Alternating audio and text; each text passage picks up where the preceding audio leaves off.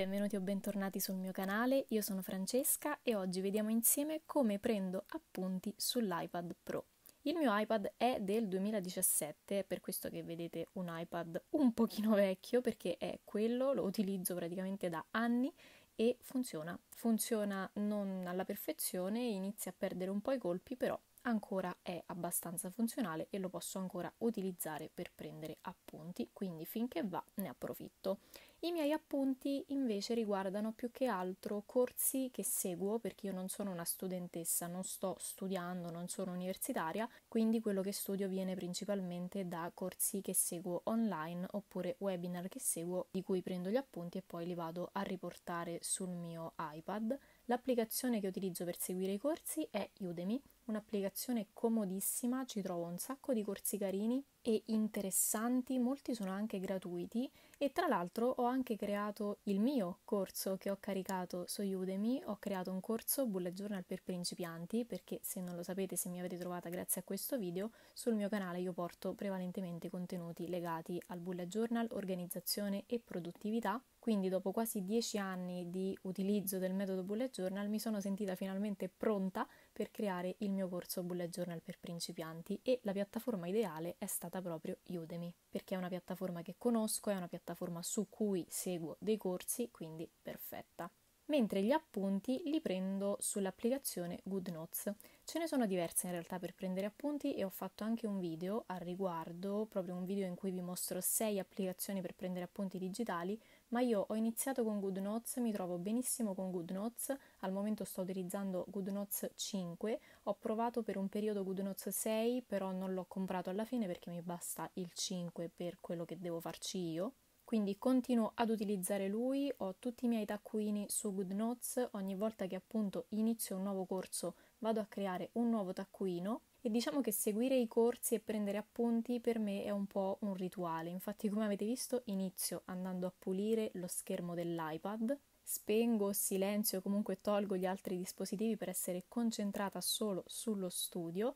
e mi accendo anche una candela perché per me è proprio un momento rilassante, è un momento dedicato a me. Non essendo una studentessa appunto, quindi non dovendo studiare per forza, tra virgolette, questi momenti li prendo come un momento per aumentare il mio livello di cultura, per aumentare le mie conoscenze, per essere sempre aggiornata su cose nuove che riguardano il mio lavoro, ma anche altro. E quindi davvero per me è un momento di relax. Questo video comunque può essere utile anche a chi studia davvero con l'iPad, anzi spero che vi sia utile. Quindi come potete vedere io all'inizio prendo gli appunti un po' così alla rinfusa, scrivo che non riesco neanche a capire quello che scrivo perché appunto lo faccio velocemente, quindi appena sento delle cose che mi colpiscono, che so che devo scrivere per ricordarle, le scrivo così come vengono. Dopodiché vado a ricopiare in bella, quindi questa è la brutta, inizio facendo una brutta copia, poi vado a ricopiare in bella, magari prendo un'altra pagina oppure mi sposto quello che ho appena scritto in basso e vado a riscriverlo.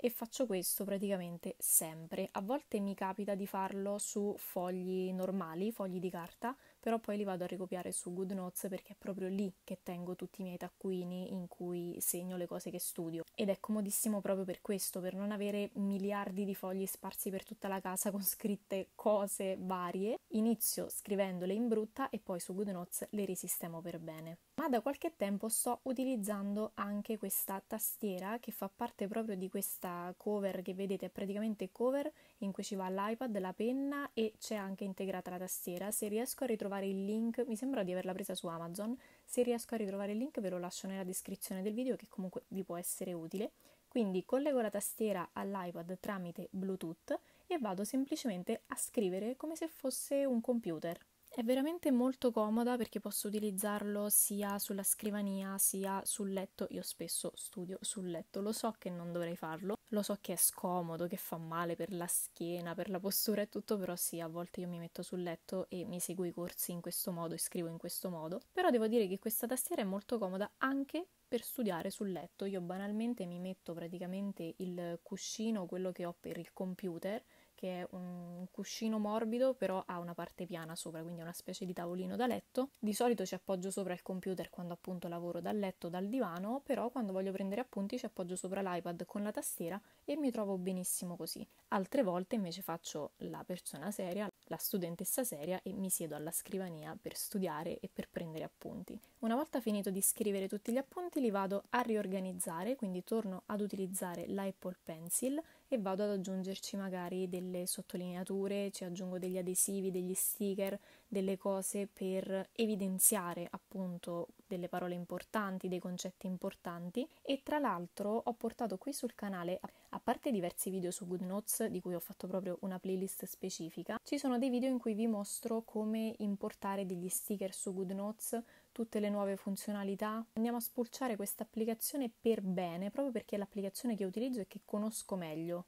e ho creato anche dei template, dei taccuini, dei planner da importare proprio in GoodNotes, quindi vi rimando anche al mio sito www.franceschalpini.it in cui appunto trovate tutti i contenuti digitali, sono tutti prodotti digitali che potete o scaricare, acquistare, scaricare e stampare oppure utilizzare in digitale su iPad o tablet. Quindi spero che questo video vi sia stato utile vi abbia dato un po' di ispirazione per i vostri momenti di studio. Non li prendete sempre qualcosa da fare obbligatoriamente, come qualcosa di pesante, ma cercate di rendere questi momenti dei momenti piacevoli, come faccio io. Mi accendo la candela, mi spengo il telefono e mi dedico a questo, lo rendo un momento per me. Quindi spero che questo video vi sia piaciuto, ne avevo fatto anche un altro un po' di tempo fa che vi lascio comunque nelle schede o nella descrizione del video, però ho pensato di rifarlo proprio perché alcune cose sono cambiate. Ho aggiornato il mio metodo di studio e il modo in cui prendo appunti su GoodNotes, quindi ne ho fatto ecco questa versione aggiornata.